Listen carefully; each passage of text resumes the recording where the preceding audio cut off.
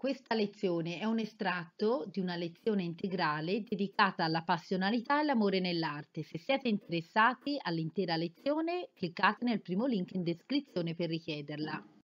Arriviamo poi a quattro opere straordinarie. Sono rappresentate ben quattro opere legate all'amore di Giove. Queste che vedete qui è Ganimede a sinistra e l'Aquila, mentre eh, quella che vedete qui a destra è io, ora ve la mostro. Allora, la prima coppia che considereremo appunto è proprio questa e si trovano a Vienna queste due opere. Sono della stessa misura e quindi si pensa forse dovessero essere messe al lato o di una porta o di qualcosa, insomma dovevano stare sicuramente in pandan. Che cosa c'è? Qui il re degli dei, diciamo il sovrano di tutti gli dei, cosa fa? Viene per rapire Ganimede. Ganimede chi è? Ganimede è un pastorello, si capisce che era un pastore perché, vedete, il correggio ce lo dimostra con il cane sotto. Vedete, il cane quasi si sta guardando in alto, il pastorello che verrà portato sull'Olimpo, diventerà poi il coppiere degli dei. Guardate come si lascia Uh, non sa volare, ma si lascia, si affida a Giove che lo sta trasportando in alto. E quindi questo è un amore corrisposto che verrà appunto in questo caso portato nell'Olimpo. Ma si trovavano questi considerati nella collezione di Rodolfo II di Praga, no? E guardate invece quest'altra donna. Che cosa è? Qui è un adulterio ancora una volta e Giove questa volta sapete in cosa si trasforma? Si trasforma in una nuvola di fumo, perché lo sapete, lui vuole nascondere diciamo, a sua moglie, a Giunone, un po' tutte queste scappatelle. Allora che cosa dice la tradizione? Dice che lui fece calare un velo di oscurità e che come lo rappresenta il correggio? Vedete, ci rappresenta uh, questo velo d'oscurità come una nube densa e diventa, prende forma. Guardate, qui c'è il volto, la nube, vedete, si sta trasformando in volto e lei, io, è completamente questa fanciulla, completamente abbandonata. Vedete? Ci dice in realtà Ovidio che questa fanciulla fugge via impaurita, no? Invece per la paura che aveva di Giove, invece guardate che cosa fa il correggio. Ci fa vedere che invece lei ha proprio un piacere di questa presenza di Giove, anche se così evanescente. Vedete, anche lei lo sta toccando, lui la sta abbracciando e lei si sta proprio abbandonando indietro a questo amore. Vedete, ho un piede sollevato eh, e poi rivolge la testa indietro, no? in simbolo proprio di estasi. Veniamo poi sempre del correggio a quest'altri due amori di Giove. Quest'altri due, vedete, hanno una forma non stretta e lunga, ma hanno una forma orizzontale. Sono alti esattamente come gli altri due, però sono molto più allungati.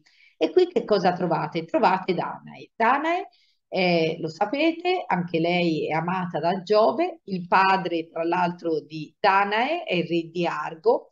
Lui era stato avvertito da un oracolo che il, il figlio di Anae, di sua figlia, lo avrebbe ucciso. E allora che cosa fa lui? Imprigiona questa fanciulla, imprigiona la figlia in una torre.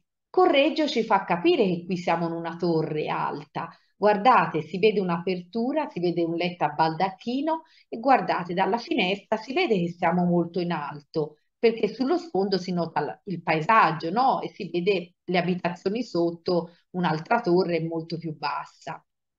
Cosa fa? Giove decise di sedurre questa Danae e come lo fa? Questa volta non si trasforma in aquila, non si trasforma in nube, ma si trasforma in una pioggia d'oro. Una pioggia d'oro che è raffigurata con questa nuvola dorata che abbaglia anche la tenda e piano piano, vedete, sta scendendo giù.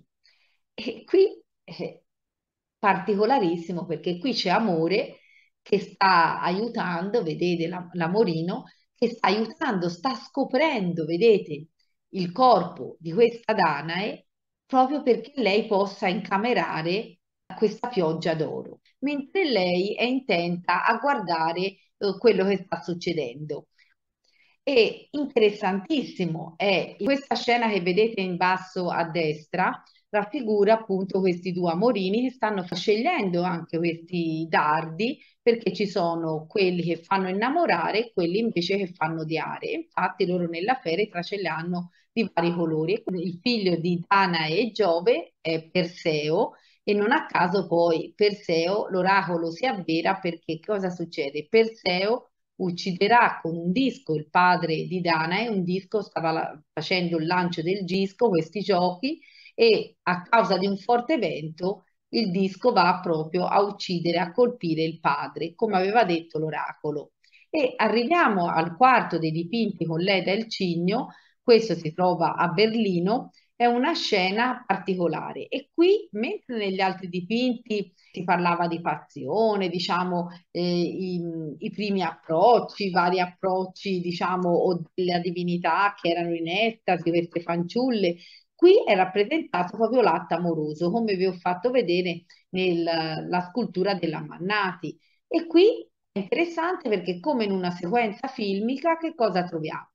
Troviamo la divinità, vedete, che prima incontra il cigno, che sarebbe Giove questa volta trasformato in cigno, per sedurre Leda, e lei, vedete, quasi, insomma, mette le mani avanti come per dire no, no, non mi interessa, Invece poi evidentemente cambia idea, perché qui la vediamo, vedete che ha le gambe allargate, il, il cigno che così sinuoso le si avventa anche al, al collo e lei molto soddisfatta. Qui si vede la sequenza filmica successiva in cui lei saluta, guarda verso l'alto, vedete il cigno Giove che se ne torna via e le ancelle che l'aiutano a rivestirsi. Quindi qui si è proprio compiuto un atto amoroso. E guardate che cosa diventa la Danae di Clint, la Danae che vi ho fatto vedere prima.